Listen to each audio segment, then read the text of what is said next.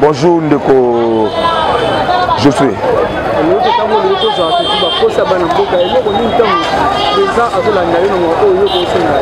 Oui, merci vraiment na motuna ya bien. Bon, ngai vraiment na osenga na mokonzi ya mboka chef de l'État donc a accélérer vraiment rapide surtout na remaniement ministériel surtout na justice justice qui lève une nation sans justice moyen mboka evase eza te mokonzi ya mboka vraiment asala réforme na ba tout les instances ya justice neti na cour constitutionnelle na bacour ya minene faut vraiment à revoir nettoyage à, à sec parce que il y a beaucoup de magistrats oyo basala na kabila bango nde bakolinga te mboka efase bango nde baza kovandela badossier ya crime de guerre crime contre humanité eh, crime contre euh, humanitaire donc mokonzi vraiment oyo ayokaka biso matin midi soir tolobelaka ye tolobelaka pepe tolobelaka mboka il faut vraiment accélérer rapidement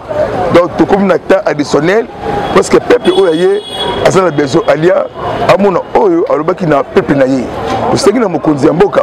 oyo ayokaka biso aza na dubai kozonga na ye efa vraiment ah, donc nde balobaka na baportugais remontarda dans ça vraiment remontarda vraiment ke po tout vraiment ezala vraiment na mesa esengo kuta mpo ya peuple congolais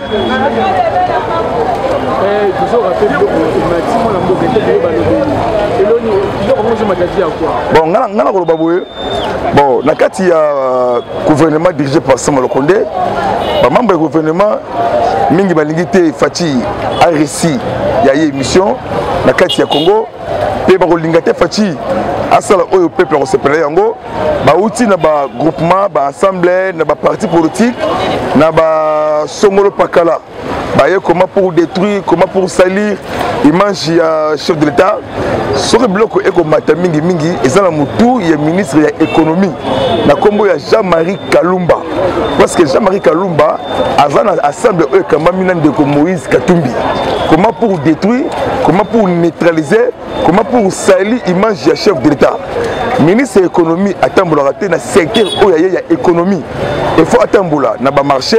na basupermarché na bawenze na lingala il faut atambola ministre ya économie asalaka te descente atambolaka te en plus azali na faible azali vraiment faible na corruption na baexpatrie bachinois baindien baindo pakistanais eloko ezalaki na 40 000 francs ekomi na 46 000 francs oyo ezalaki na 2000 ekomi na 4 000 francs ministre ya, ya, ya, ya économie alobaka te asinani arrete mpo na kotombola secteur na, na ye napesi eh, eh, exemple baexpatrie oyo nde baza awa balukaka moto oyo azali lache bango bazwa espace na ye so bayeli yo enveloppe ya billet vert bayeli enveloppe ya fo congolais ntango yo olengi bazwi secteur na yo ekonomi ekomi ya bango yo mosusu koloba eza te akosa biso siri baproduit sirigele 600 millions oyo azwaki mpo na batomson mpo na basoso lelo oyo eza wapi ngai napesi longonya mingi na baeli e ya peuple ndenge bazwi morceau de défiance contre ministre ya économie jean-marie kalumba un aventurieux oyo ayebi eloko te il maîtrise rien il connaît rien na secteur ya économie ministre ya économie afandaka na kati ya bureau te atambolaka ou atindi bainspecteur ya ministère ya économie batambola batala nini emati nini eza kokoma te biloko emati pour l'étendue ya république oyo napesa bino message ezitaki peuple congolais etaki président parlement debout oyo alobelaka peuple congolais chaque ntongo na parlement ya, ya zandu dollar emati te toujours na 20 mais komaki biloko emati c'est un eza complot contre nation contre chef de l'état pour détruire pour neutraliser mokonzi ya mboka ngai naosenga mokonzi ya mboka okanga mingi miyake président ya parlementaire debout esangisaka tous les couches ya mboka congo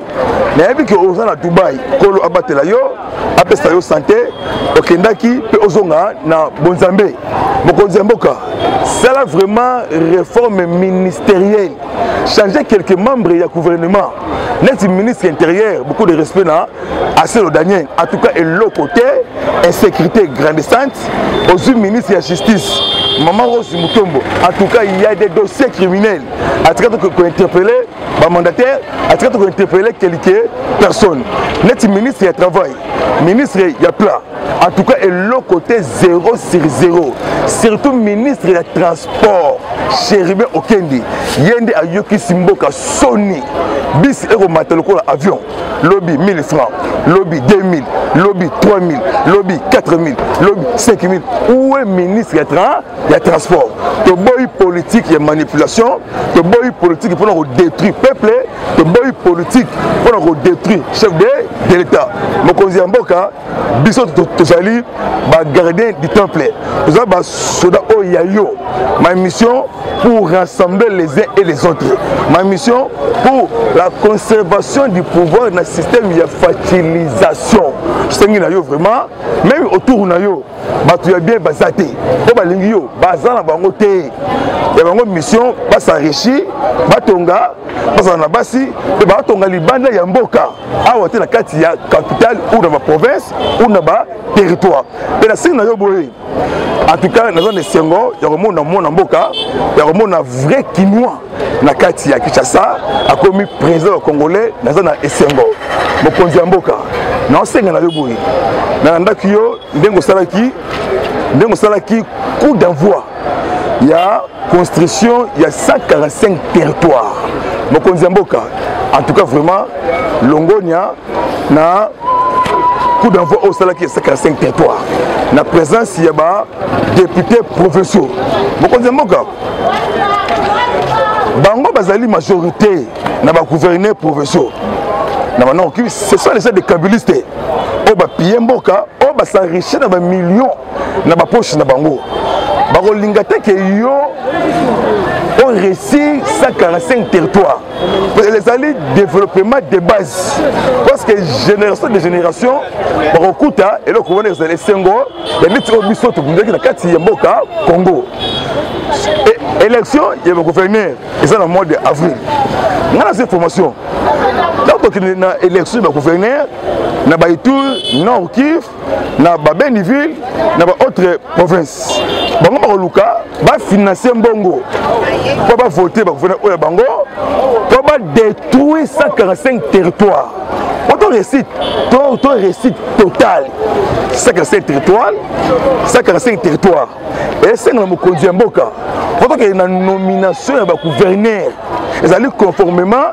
na mibeko likundi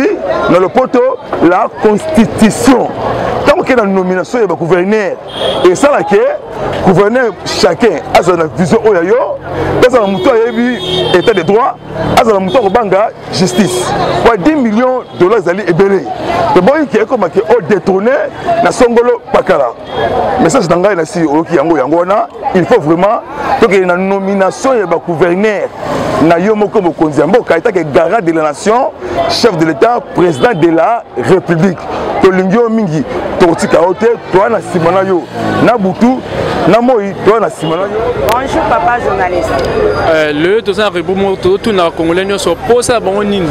ozwi mwa occasion o président azolanda yo na minute oyo eloko nini okosenga mokonzi ya mboka eloko nga premièrement na kosenga mokonzi ya mboka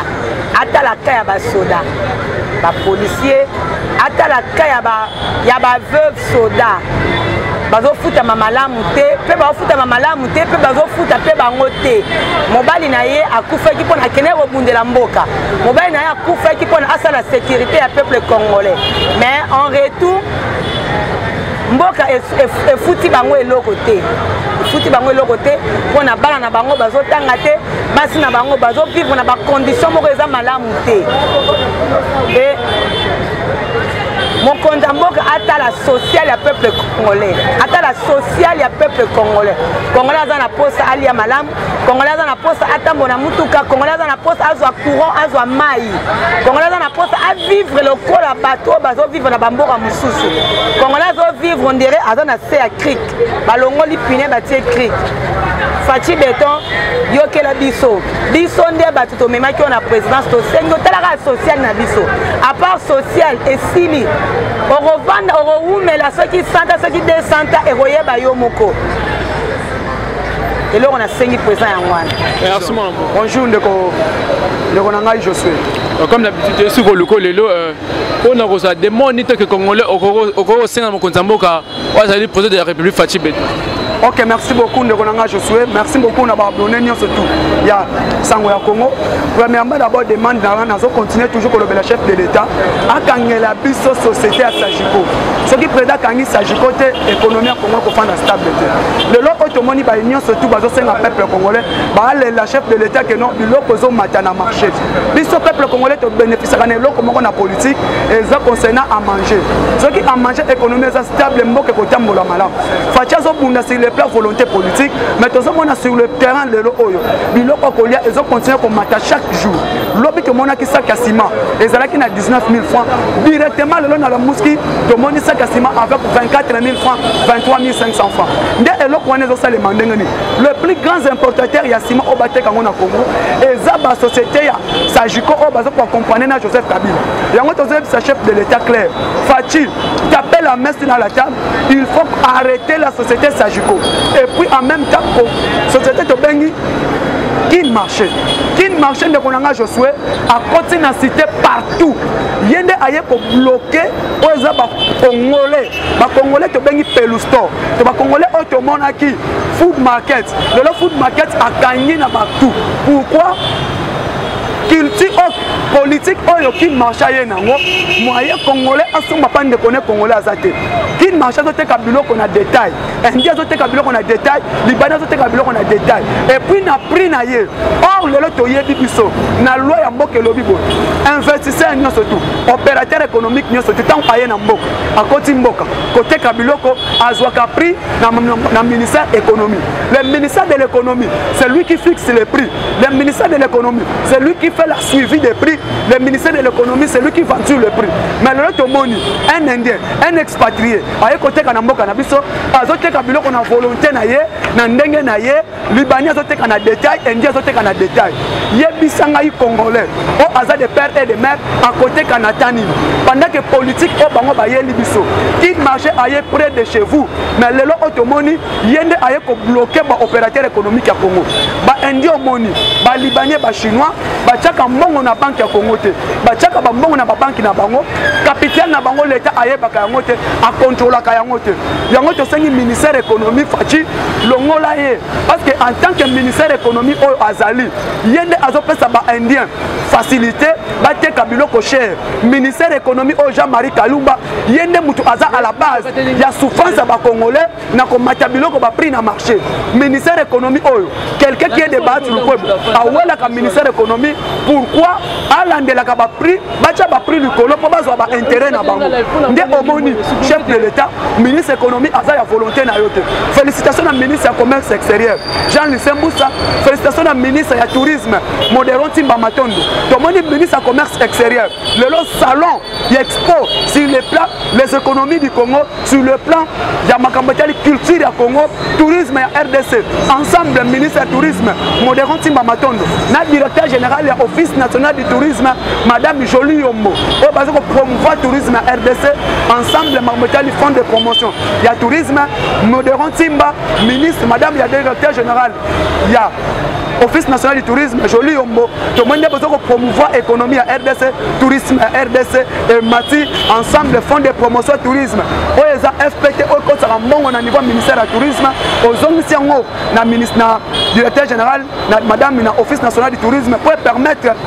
office national du tourisme azwa bamoyen apesa bapensionne bamakoki azwa bamoyen amatisa salaire ya baja ya office national du tourisme ensemble modéron timba matondo félicitation na directeur général office national du tourisme même temps tomoni yango na niveau ya douane directrice générale ya dgda oyo aye kopromouvoir fond de promotion douanière na mesa oyo permettre baja ya douane bamatisa bamatisa recette douane emati mbongo ekomi okota vraiment félicitation moko oyo eza koaccompagne ministère na biso ya finance oyo tobengi na nkombo nicolas kazali vraiment merci beaucoup na baye nyonso tout boyo travaille na vision chef de l'état président de la république sala effort kokanga sajuko président de la république sala effort kosuspendre kin marché okomona économie ya mboka ekofanda stabilité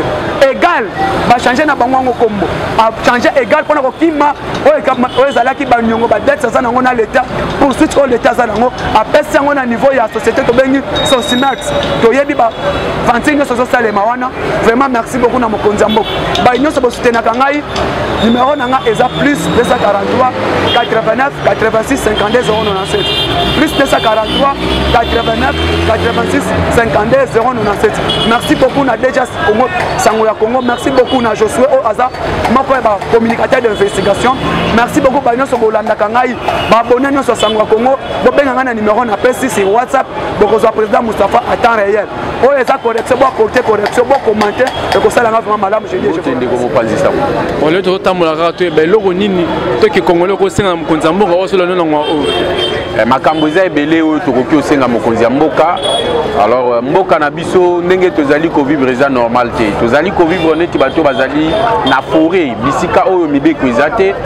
euh, eza na bato oyo tomonaka bango bazali likolo ya mibeko eza na bato mosusu oyo tomonaka baza na se ya mibeko donc moto aza na mbongo moyen bakanga ye eza te yo mobola ata soki oyibi bik bakangi yo mais tozomona bato bazali koyiba bamillion de millions qui ne sont pas arrêté lelo oyo tokomi oyoka na ministère ya epst oyo badetourne mbongo ya tournoi interscolaire oyo basalaki awa bafifa mais tomonaka kaka bato wana balobi balobi mais bazokanga bango te tandis que social ya population congolaise ezali ko se deteriore me mokonzi ya mboka azosala nyonso oyo akoki kosala me tomona ke bato baza pembeni na ye bato baza zingazinga na ye baza kosala eloko moko te eloko tosenga na mokonzi ya mboka ezali ya kosanctionne par exemple abimisaki projet awa ya kitoko ya projet ya 100 jours na projet wana batiaki banzela batonga banzela batonga basoti moto batonga bamaison préfabriqué mpo na bamilitaire na biso me tomoni bato badetourne mbongo wana bamaison préfabriqué tomona bisika batonga yango te me bato wana bakenda prison babima mpe kabongo ti lelo toyebi suite na bango te soki ozwi baprojet neti kinshasa zero trou mbongo ebima nango me banzela na kinshasa eza te lelo toza na projet ya 145 territoire soki tokontinue kaka na lire moko moko wana eloko moko ekosalema eza te yango tosenga na mokonzi ya mboka soki mbongo ya leta ebimi basalaka suivi ndenge igf azosala yango wana me soki igf mpe asali rapport bakangaka bato wana kiyei de punition soki bakangi motu batyei na makala asali 20 ans na ye kuna eopesa bato baotikala leson keno soki nga mpe nayibi na okende osala 20 ans me soki punition eza te soki bazosanctionne bato wana te nazoyebisa yo mboka na biso tokokontinue kaka ndenge toza boye yango tosengi na mokonzi ya mboka afongola lisu aza moto oyo awuti na parti oyo ebandaki kobundela population congolaise oyo ebandaki koloba le peuple d'abord mais lelo tokomi omona makambo ya le peuple d'abord eza oyo ezali kosalema na république démocratique du congo te lelo savon lekoka ekoma 600 lelo mwa sachet ya milika nido ekoma nango 500 biloko tu emati toyebi te biloko wana emati ndenge nini parce que dollar mpe emati te ebouge te eza kaka ndenge moko ezala baministre ezala baconseiller ezala bato tu oyo bazali pembeni ya mokonzi bazali kosunga ye te yango tosengi ye asanctionne bato wana mpe akipe nanu social ya population congolaise Merci. Bonjour, monsieur journaliste. Mm. Le totamboli tozwa mwa posa ya bacongolais par rapport de moni bakosenga mokonzi ya mboka ntango azolanda yo nango oyo en tout cas nasengaka na mokonzi ya mboka nzambe abatela ye apesi sagesse de jesus atambisa mboka oyo bato nyonso baza mopanzi na ye neti baministre baconseiller soki soit disant banene na banani en tout cas bazosunga ye te peuple congolais aza kosouffrir aza kolela tellement biso idps toza base ya monene yango moni mbabeba mosusu moko ekota eza te mpo bazobanga masi na biso tozobunda biso moko soutien na biso ezalaka nzambe na ye moto oza numero 1 na biso na mboka asala biso grâce ameka kotala ka na biso ministre ayibi pdg ayibi makala eza ouvert bakanga bango badetourne mbongo mais comment moto adetourne mbongo lobi na ntongo abimi akekoti kajo 1 mois 2 mois bazo bimisi ye so mboka ekosevanse ndeni toza na susi na ye nzambe abatela ba séjour na ye kota aza na dubai nzambe abatela séjour na ye kota aza na dubai nzambe abazela ye ebele atala bato te asala nde mosala naza na kondima nzambe akopesa ye 4 mandat na ye akosala yango normal mais peuple congolais toza kolela banzela eza ya kobeba banzela eza ndambu ndambu ndambu ba bazosala nayebi te tokosuka wapi tokodefendre ndenge nini tokoma idps biso bakombata tozodefendre ka mpo toyebi koloba baparti eza mpasi oza debana moto ya biso nzela eza te ofulu boye en tout cas ezosimba te mais merci nzambe asonga baprojet aza nango ekokisama ciao bonjour mwana mboka bonjour bonne santé malam bon le totambusa mikro tongo ye bato eke bacongolais demoni nini okosenga mokonzi ya mboka ntango azolanda yo na ngwa oyo ngai demande ya liboso na kosenga epa mokonzi ya mboka parceke toza na kati ya population toza na cité tozosenga na mokonzi ya mboka liboso social ya peuple congolais ndeko journaliste peuple congolais azo creve azo souffrir peuple congolais azo souffrir donc je dirais aza mpena na kati ya gouffre que nous demanderons au président que asokipe na social ya peuple odi kolia bacongolais kosala bacongolais makambo ebele ya bacongolais eza normal te parce que autour du chef toyo remarke que le chef n'est pas aidé bato baza zingazinga mokonzi baosunga mokonzi te yango peuple azogreve ozwi meme électricité ozwi meme mai mai mpasi ya kosakana te ti lelo mai bato baotoka mai ondenge na mboka baokende na babidon na bacantine kolonga batrajet baokende mai meme mabulu maya mabulu bato bomolambela maya mabulu basokola bilamba comment est ce que ebebisa me bato donc le président doit d'abord s'occuper du social na oloba mpe mokonzi ya mboka atala mpe oyo ezali bongo sécurité ya mboka na biso ndeko journaliste soki otali makambo la polise aosala na cité eza mawa la polise oyo ya kongo na biso oyo kimoyibi ya kosangana te polise akoma maboko na posha bakongolais azwa apareil mabe azwa mbongo mabe abotola nyonso mabe policier oyo azalaki moto aza pembeni ya peuple asecurise peuple na babi ya peuple ye akomi nde aza koagrese peuple na biloko ya peuple kozwa yango donc le président doit aussi voir côté ya sécurité côté ya la police même notre armée oyo batelaka territoire na biso baalisi alesa là-bas ça ne va pas à tout moment il y a toujours des attaques cette agression ezosunga peuple te peuple aza toujours azolela parce que toza na kinshasa donc lobe bato bana est sont des congolais nous sommes tous des congolais lorsque nos, nos frères souffrent cette souffrance eyepepa na biso parce que nakofanda me ndeko moko aza na est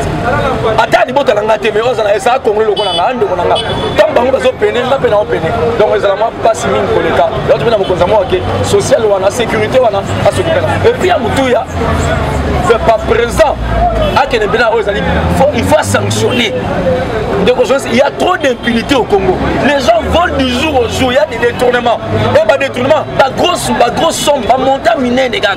oka ba 100 000 1 million 5 000 donc on ne sait pas au congo donc biso tokolia te